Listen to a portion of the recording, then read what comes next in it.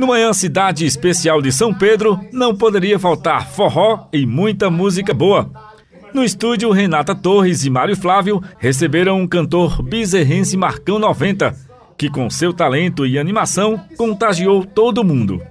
O cantor agradeceu a oportunidade de levar sua alegria para as pessoas. Queria agradecer todo mundo que acompanhou aqui a Rádio Cidade, né? O carinho de todos os fãs, toda a galera que curtiu o nosso programa, a nossa live. Então fechou de bola. Obrigado, Rádio Cidade, obrigado por estar abrindo as portas para tantos artistas. Em nosso arraial, as mulheres eram maioria.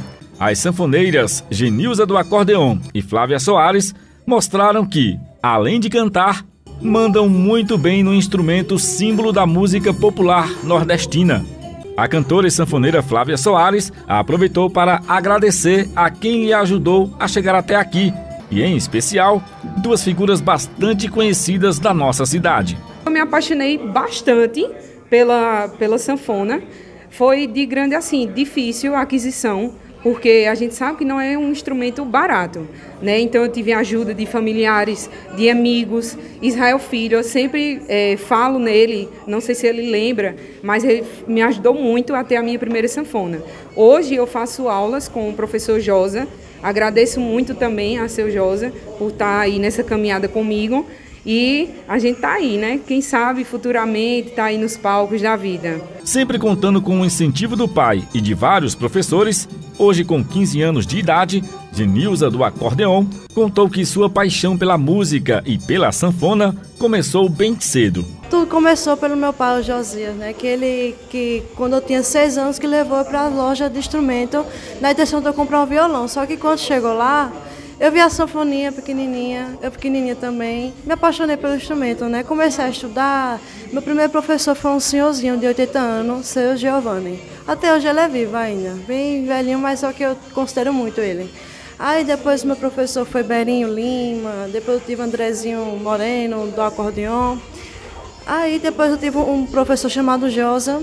Aí meu pai sempre fica me levando também, outros professores, para mim me aperfeiçoar cada vez mais na sanfona. E hoje eu estou aqui estudando, estudando sanfona, tocando por aí. Estou muito feliz, graças a Deus. Depois de passar aqui pelo nosso arraiá, mulheres talentosas como Genilza do Acordeon e Flávia Soares, chegou a vez do Kiko Gomes também mostrar o seu talento para todo mundo. A minha história é, não é diferente da de muitos artistas, né? Precariedade no começo da carreira, entendeu? Mas aí a gente, com muita devoção, muito orgulho, muita é, muita vontade, a gente conseguiu gravar um CD e conseguiu estar tá aí botando em, em, evidência a bandeira brasileira nordestina do forró, que é o que a gente gosta. De volta ao estúdio, o casal Cidade bateu um papo através de videochamada com os cantores Jailson Rossetti e Israel Filho. Claro que não poderia faltar o quadro mais saboroso de todos os especiais do Manhã Cidade durante o mês de junho, o Vai Comer o Quê? com Ana Rebeca Passos. Dessa vez, ela foi até o bairro Luiz Gonzaga conhecer a receita de uma cocada cremosa feita pela chefe Paula Machado. O São João Delivery da Rádio Cidade ultrapassou as paredes da emissora e levou alegria e animação para dentro de um ônibus, como nos mostrou o repórter João Neto. Para o diretor administrativo da Rádio Cidade, Rodolfo Silva, o empenho de toda a equipe foi fundamental para o sucesso das nossas transmissões. A avaliação eu tenho ela como mais do que positiva. Ela foi 100% entregue do jeito que a gente planejou. A equipe fantástica, a equipe muito competente da Rádio Cidade.